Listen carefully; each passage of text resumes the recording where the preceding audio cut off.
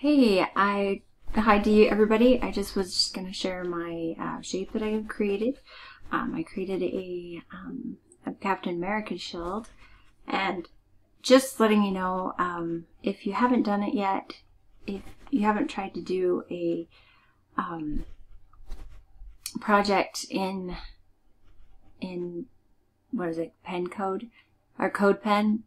I hadn't ever done this before, and I was trying to figure out my positioning, and it's so hard to do it in just using brackets and stuff because you can't see it as you're working on it. You have to save it and then look at it, and it's really hard to work with sometimes. But I actually put it in pen code uh, or CodePen, and I was able to um, get it positioned correctly using um, using it because it was so much easier to work with and just see where everything was and how it all worked together.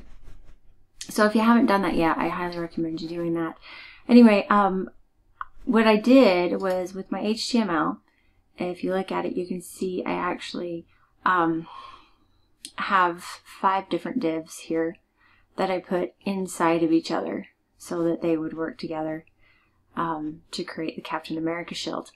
Um, then I went ahead and started with my CSS and what I did is I ended up putting a mixin called circle with a width and a height that would change and I ended up putting in um, all these um, margin auto and margin top and margin left that I ended up that all of them would need. So that when I was writing um, my my my code I was able to just put include circle and then I um, just added the pixels that I ended up needing in order to to make it um, look like a Captain America shield.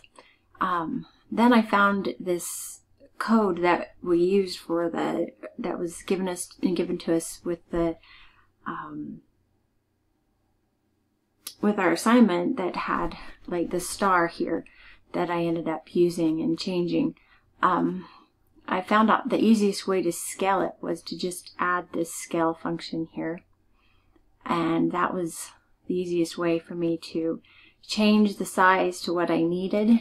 And because I did first tried to move and change all of these um, to what I needed, and that just messed it all up, and I, it made it really hard to put it together again, and and that was difficult. So I ended up scaling it down, which gave me an easier, it was easier for me to be able to put it where I needed it, where I needed it. Um, and then of course I changed the color and then I changed the positioning of, of everything. But this is my Captain America shield and I hope that you like my shape that I created. Um, and I hope you had as much of a learning experience as I did on it. And thanks for looking at it.